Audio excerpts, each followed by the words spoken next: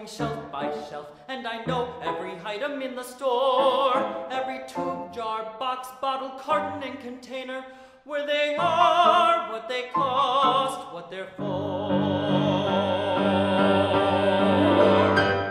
Although it's something you have never thought about, Mr. Maraczek, try me. You need a man who knows the business inside out, Mr. Maraczek, try me.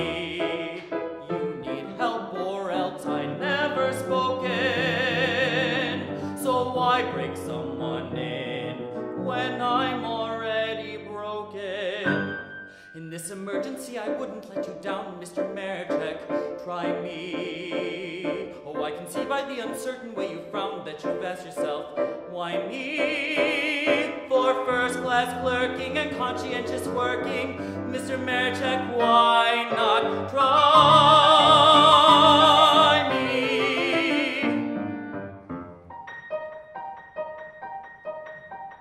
wish to return this jar, madam. Certainly right you are, madam. You say it smells like a drowning cat.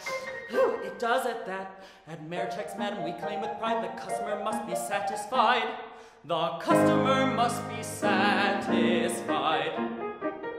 By the way, we have a special sale on autumn heather. Let me spray some on your hand. Here, we'll smell it together.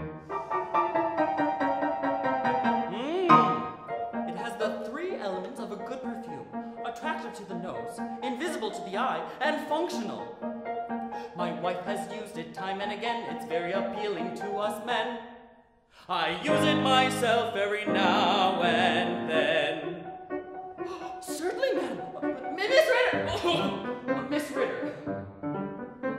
That's 20 and 6 for the autumn heather, 8 32 even for that bottle of mermaid's dream, 1 and 3 for the eyebrow pencil, 9 for the large shampoo, then for the jar you're bringing back, that's 4 and 2 for you.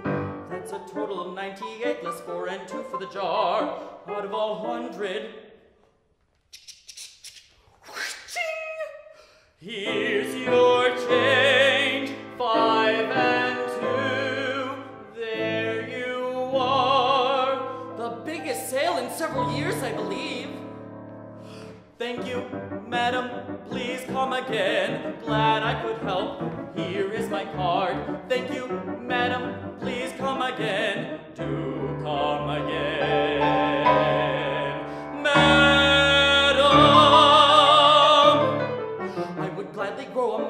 could like Mr. Maraczek, try me. I would even think of giving up my bike, Mr. Maraczek, try me. For first class clerking and conscientious working, Mr. Merchek, why not?